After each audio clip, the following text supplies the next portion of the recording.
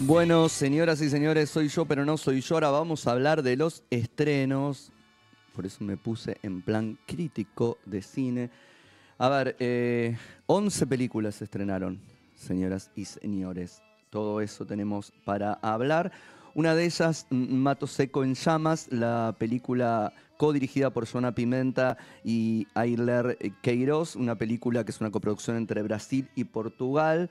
Eh, mujeres es una ficción documental, documental ficcionalizado, donde varias mujeres se empoderan, se ubican en un lugar más que interesante eh, sobre su rol, en todo caso, desde ese lugar, alguna que ha salido de la cárcel recientemente, otra que es como la que encabeza una, un negocio que tiene que ver con petróleo en una casa eh, y la posibilidad de venderlo por fuera del Estado y de los negocios privados, obviamente. Eh, una, una de ellas que se presenta como diputada en próximas elecciones, pero todo lo que tiene que ver con eso en un sector eh, que es Islandia, un sector real, hay algo del mito y la leyenda, em, de, la policía acercando, la fuerza de las derechas eh, en tiempos de Bolsonaro, es ahí donde transcurre de alguna forma esta, esta película. las posibilidades de los nuevos trabajos o no, no de, ese lugar también, eh, la religión, dando vueltas por ahí también. Eh, todo lo que dio de alguna forma la alianza para que la derecha en Brasil surja y los lugares que quedaron de resistencia durante ese tiempo, de alguna manera alegórica, de alguna manera también documental, es lo que se puede ver en Mato Seco en llamas. Drácula, Mar de Sangre es una película que toma una parte de la obra de Bram Stoker, esa parte que significa el viaje de Drácula una vez que ha comprado su lugar en Londres, la abadía, para llegar de Transilvania hasta su, nuevo lugar de asentamiento, ese viaje en barco, una película de terror en un lugar cerrado, en un espacio en el que los marineros tienen que convivir con la maldad absoluta mientras se van dando cuenta de qué es lo que transportan y van muriendo lentamente de uno a uno.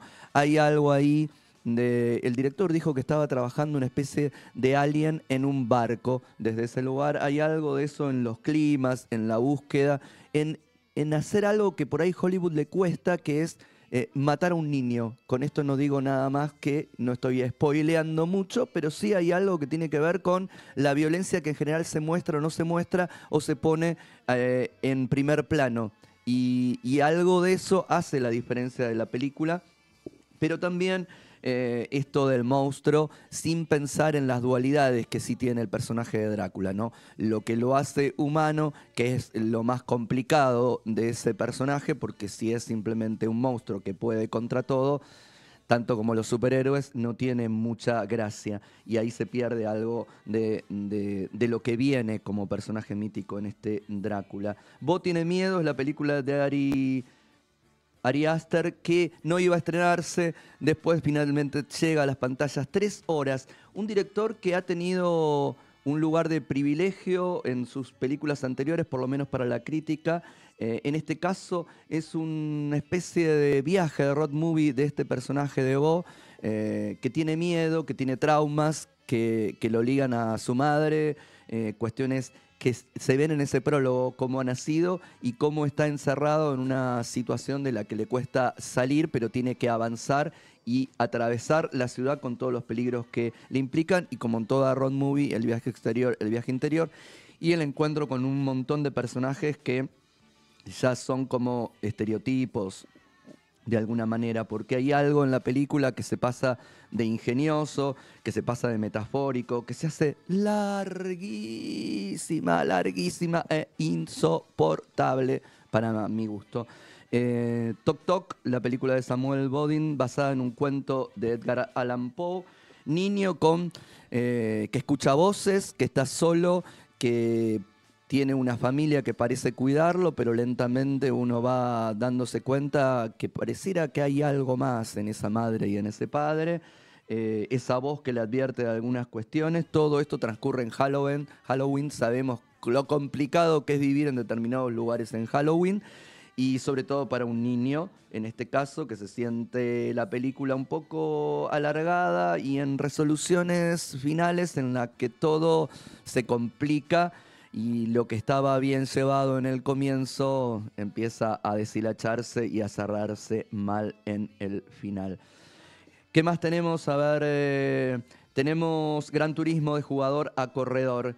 A ver, ahí está Sony, están los juegos mm, eh, que quieren captar a un público para llevarlo a, la gran pantalla, ¿no? Esas películas clásicas de deportes y de heroísmos, el héroe que consigue todo cuando nadie cree que es, posible que, lo lleve adelante, un chico que se encarga solamente de jugar, de jugar a los jueguitos en su casa, eh, experimentar con las carreras de turismo carretera y de alguna manera eh, llega de la virtualidad a la realidad. Por eso ese agregado de jugador a corredor.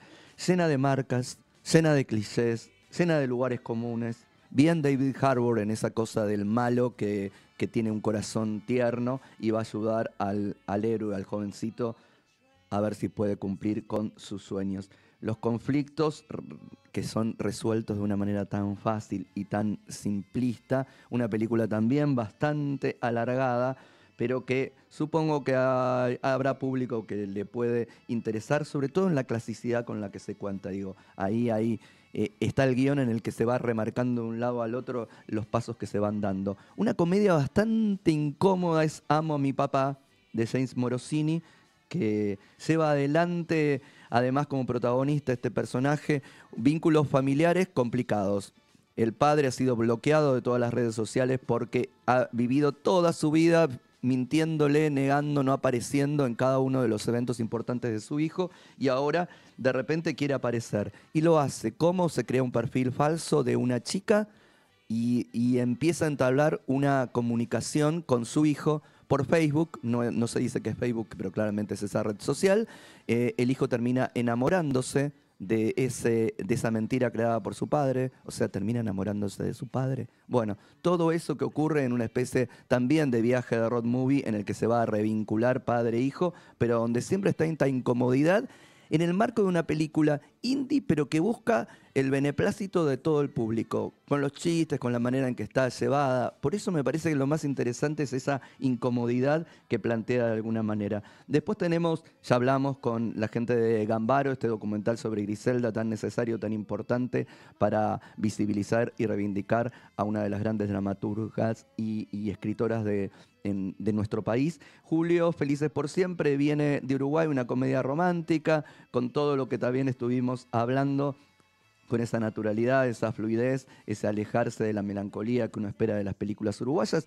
Estreno de dos películas uruguayas en el país, porque también está Milonga de Laura González, una historia más bien, en este caso sí, dramática, con un gran protagónico de Paulina García, eh, actriz chilena, actriz, actor uruguayo, César Troncoso, con una, en una película uruguaya que plantea eh, la problemática de cierta violencia eh, que termina dejando secuelas en los protagonistas. Lo que pasa es que la película dosifica tanto la información y mete tanta subtrama y el baile tanguero y la historia de ella saliendo a la luz y la nuera que le cierra la puerta y no deja ver a su nieto y el hijo que está en la cárcel y no la, no la quiere atender a su madre. Digo, deja todo en el final y si eso era el nudo central y la manera en que lo resuelve es un poquitito complicado lo que deja entrever quizás esta milonga. Em, también tenemos Alma Mula, también hablamos con sus protagonistas, una película súper interesante de iniciación sexual, de bullying, de sexualidad, de religión, en pueblo rural, los prejuicios, súper bien llevada adelante. Tenemos de de, Demonio Eclipse Rojo, la película de terror de la semana, terror en todo como, como significa, ¿no? Como género y como otra cosa, es cómo se lleva adelante. Hay escenas increíbles, un poco ridículas para desarrollar esta, esto que les pasa a una pareja joven que está bastante complicada en cómo se pone la puesta en escena y en las actuaciones sobre todo. Eh, hay algo ahí que, que no termina de cerrar.